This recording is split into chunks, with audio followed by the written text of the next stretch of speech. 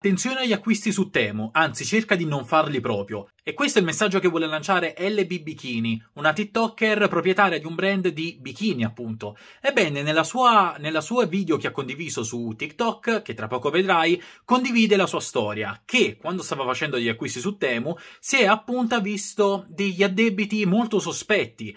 Ti lascio ovviamente al video in cui lei racconta il tutto, ma comunque fai particolarmente attenzione a questi siti cinesi. Attenzione quando fate gli ordini su Temu sono stata fregata io 10 anni di attività online e 4 shop online.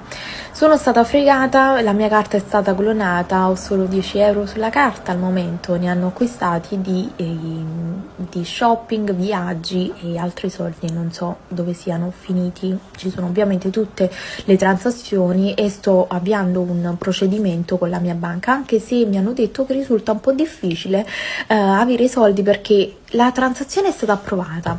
Ho fatto l'ordine su Temu, lì dovevo già insospettirmi per i prezzi bassissimi, 1,50 euro ho comprato cosine per la casa e per l'auto e anche con spedizione gratuita però lì non mi sono sospettita perché ho pensato ad una possibile eh, concorrenza con Shein e Amazon e invece nulla, ho scaricato l'app, ho fatto l'ordine e la mia carta è stata clonata dopo pochissimo, quindi fate attenzione.